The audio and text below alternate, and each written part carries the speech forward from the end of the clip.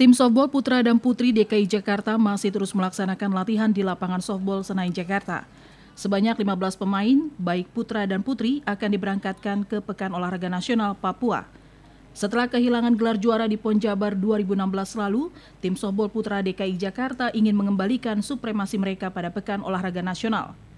Dari hasil catatan, softball putra DKI Jakarta terakhir kali berhasil membawa emas pada PON Kaltim dan PON Riau.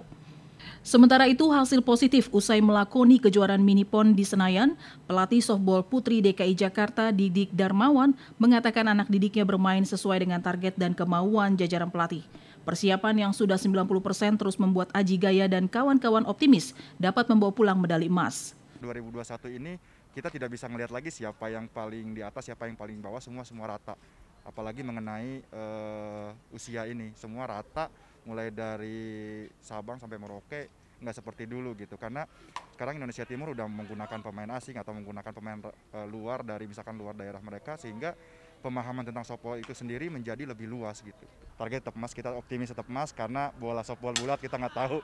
Apalagi sekarang sudah merata kita juga nggak tahu lawan kita tapi dengan adanya mini pon kemarin kita lebih sedikit mengetahui kekurangan dan kelebihan melawan.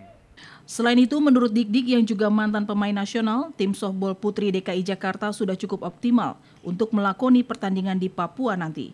Walaupun beberapa tim di daerah sekarang sudah memakai pelatih asing seperti tim Papua yang memakai pelatih dari Filipina tidak membuat jajaran pelatih khawatir.